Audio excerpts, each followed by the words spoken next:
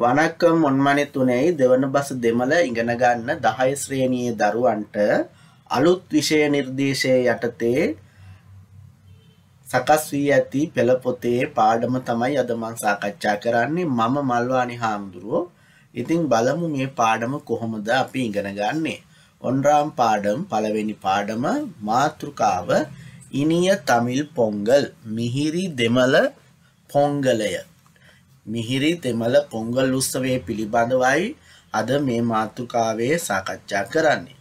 අපි බලමු මේකේ තියෙනවා මෙහෙම පඩත්තේ පින්තූරේ අවධානික්පෝම් අවධානයෙන් බලමු. කලන්දුරෙයාඩුවම් සාකච්ඡා කරමු.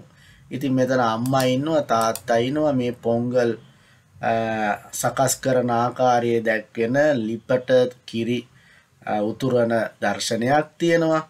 ඒ වගේම පහනක් පත්තු කරලා තියෙනවා ලස්සනට සරසපු ගවයෙක් ඉන්නවා.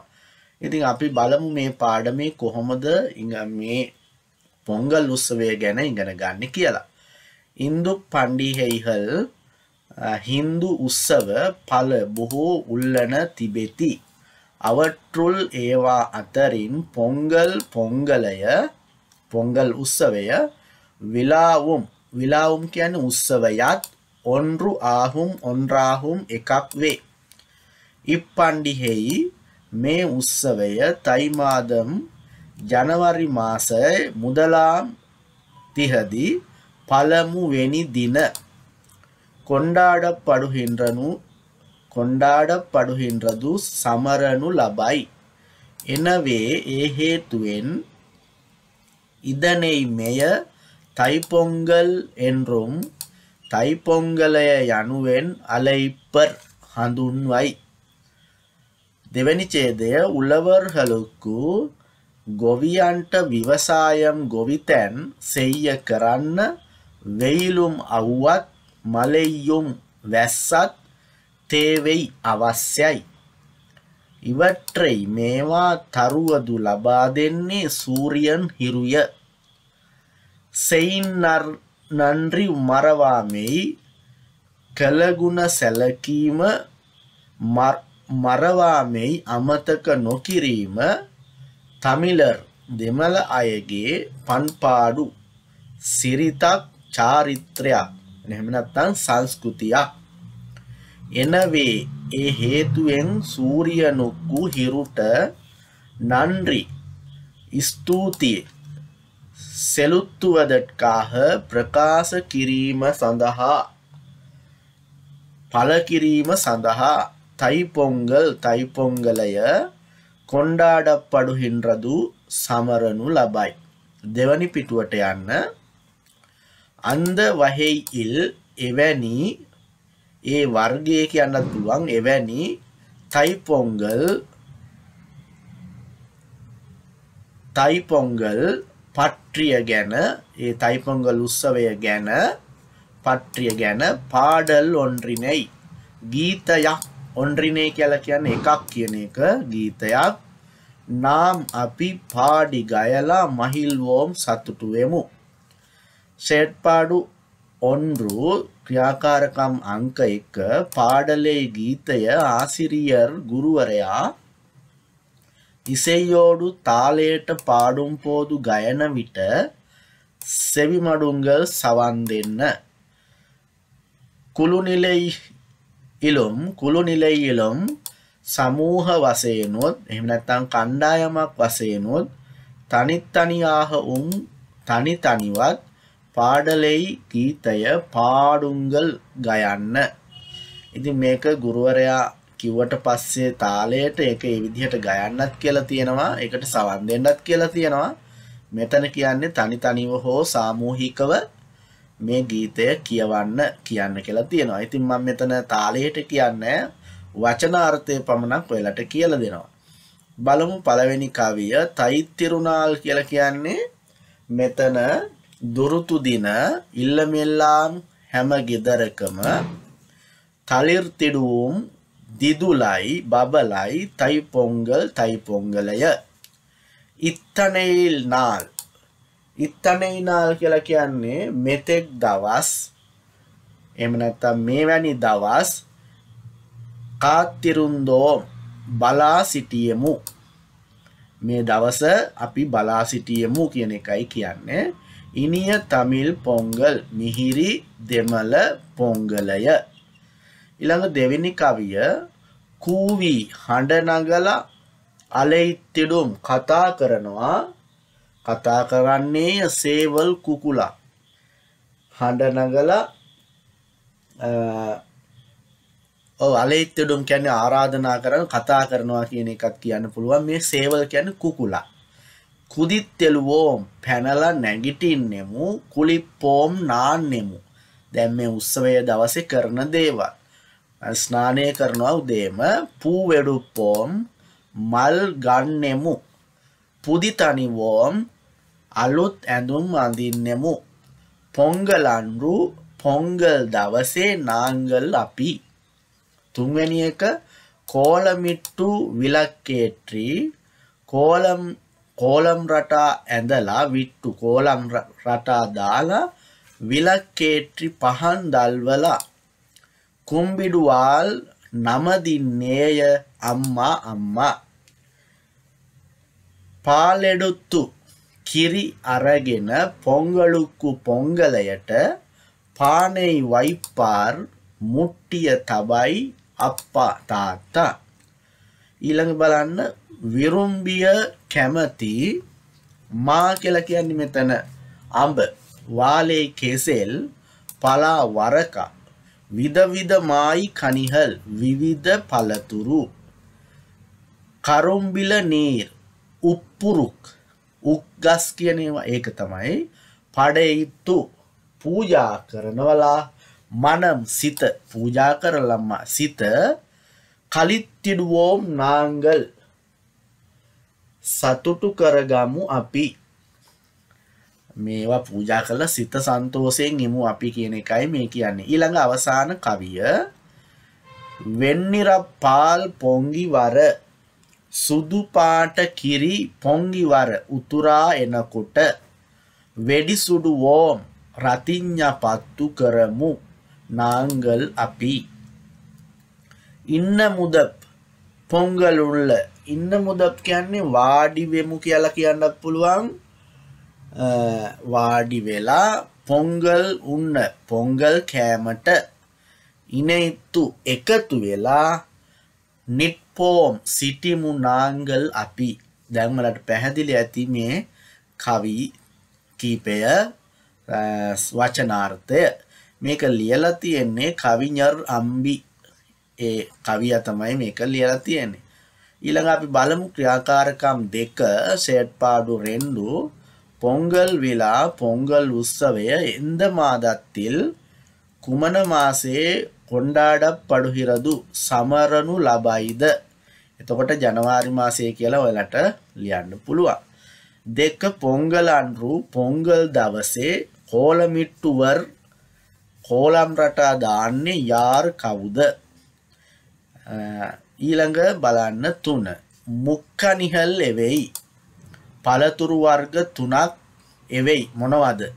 මුක් කනිහල් කියන්නේ පළතුරු තුනක් මොනවද කියලා අහනවා. හතර පොංගල් පොංගල් විලා උත්සවයේ ඒන් ඇයි කොණ්ඩාඩ පඩු හින්රදු සමරන්නේ? ඉතින් මේ පාඩමට හොඳට සවන් දුන්නා නම් මේවල් ලියන්න පුළුවන්.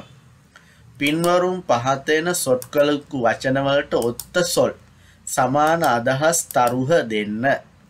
අපි මේකතන මෙතන තියෙන මනම් කියලා කියන්නේ සිත මනස කලිප්පු කියලා කියන්නේ සතුට. එතකොට ඒවට අදාළ සමාන පද පාඩමෙන් හොයලා ලියන්න තියෙන්නේ. නාල් කියලා කියන්නේ දිනය. ඊ කියලා කියන්නේ ආ මේ ඊ පූ කියලා කියන්නේ මල. ඉතින් මේවට සමාන පද ඒ පාඩමේ තිබුණා. ලියලා ලියන්න පුළුවන්. අපි ඊළඟ හතරවෙනි පිටුවට යමු. සොල් අරිමුහම්. වචන හඳුනා ගැනීම මේක ඔයාලා ඔක්කොටම කියන්න පුළුවන්.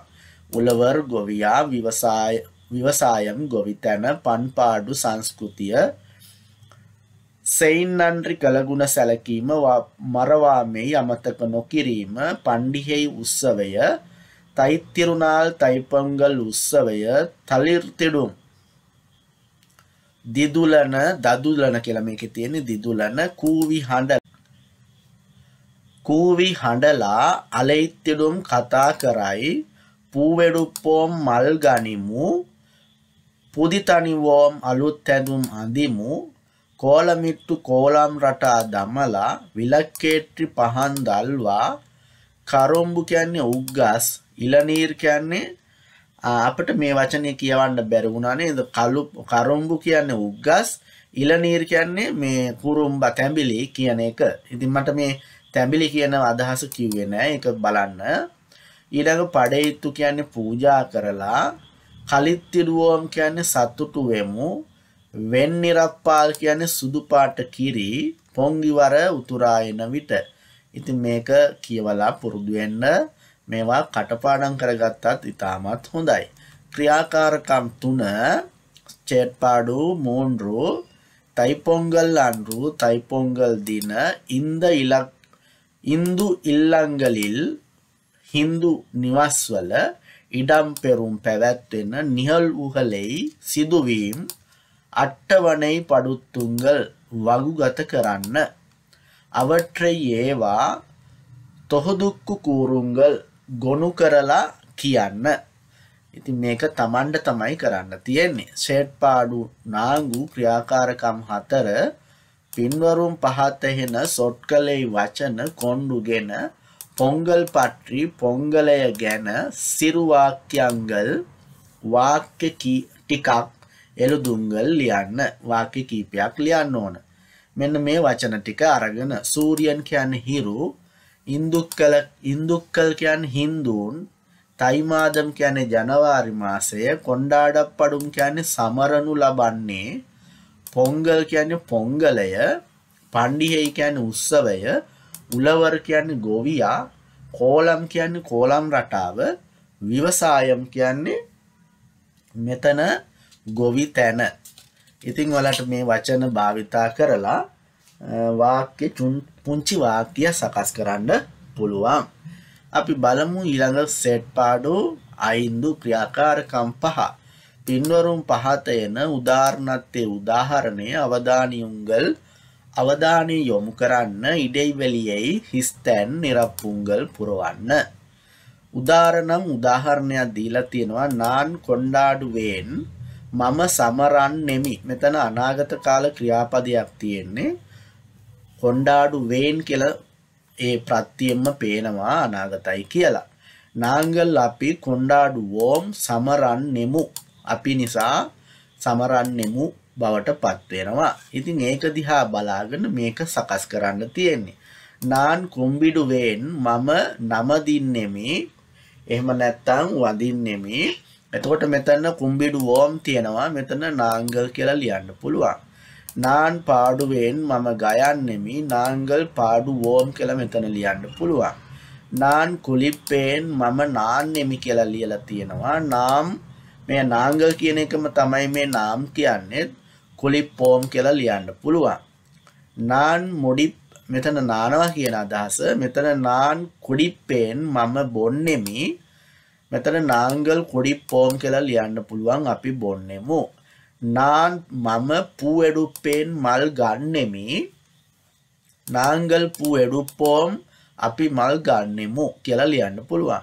නාන් පුදිය ආඩෙයි මම අලුත් ඇඳුම් අනිවෙන් අඳින්නෙමි. නාංගල් පුදිය ආඩෙයි අනිවෝම් කියලා ලියලා තියෙනවා.